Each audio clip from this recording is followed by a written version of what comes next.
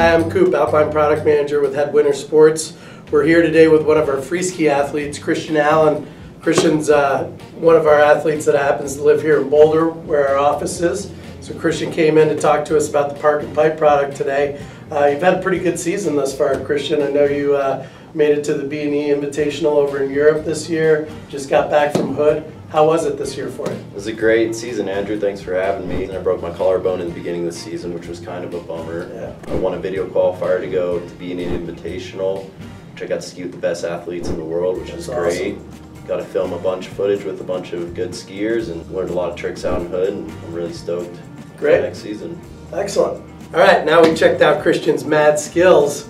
Let's talk about the uh, line and break it down a little bit, Christian. You know, the, with the Park and Pipe series, we start out with the frame wall ski, and that's a ski that fe- features a 360 degree sidewall. I know it's a ski that you've skied on uh, quite a bit. Christian, what do you think? What's your overall impression of that ski?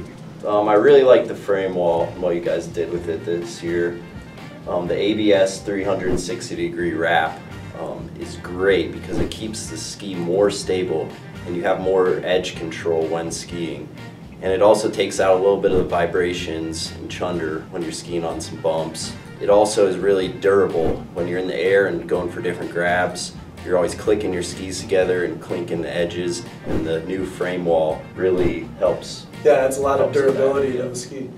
That's great. I, I, I know that a lot of guys like yourself, uh, Schlopey, have really liked that ski, uh, especially in the big booters when you're when you're carving in Yeah. to a booter. That ski gives you a little bit more torsional stiffness and, and helps in those situations. Yeah, for sure. The the next ski that, that we've got is, is the caddy. And the caddy is a similar construction to the to the frame wall. It doesn't have the 360 degree sidewall, but it's a wood core fiberglass sandwich construction. It also features a similar technology that the frame wall does called ISS. And that's an independent suspension system. We put rubber or elastomer in the tip and tail of the ski and then underfoot where the binding goes.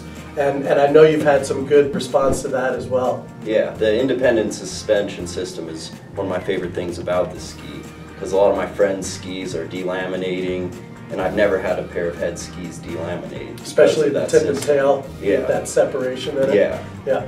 Yeah. And that, that ISS really helps take away vibration in those areas more than anything, especially how hard you guys are on the skis in the park and in the pipe.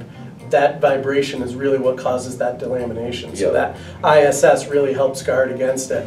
And then having it underneath the mounting plate as well gives you a little shock absorption in the landing. Trying to hit that Gucci plateau is a term that I learned this year.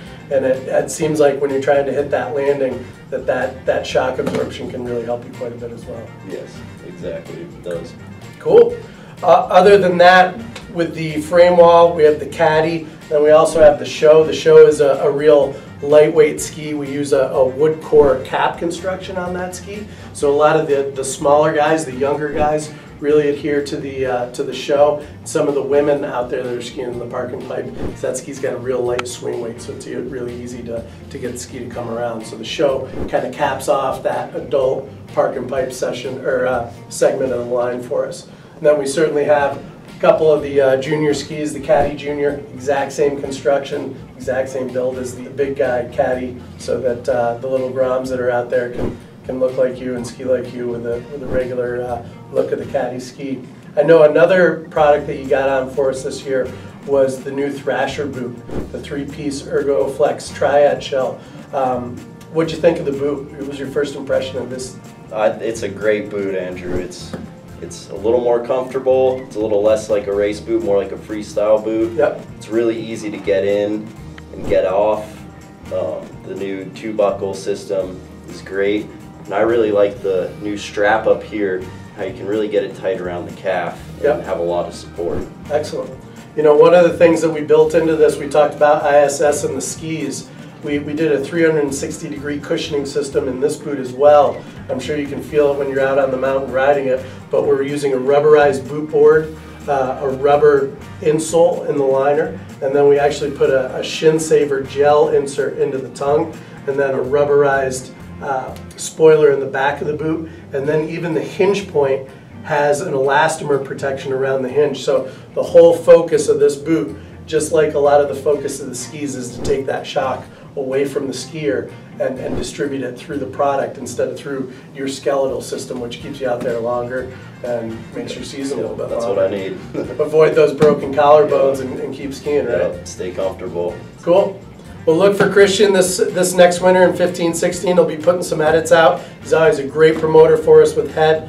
Always out there killing it for us. Check him out in 15, 16, and check out the line of Head Park and Pipe skis and boots. Thank you.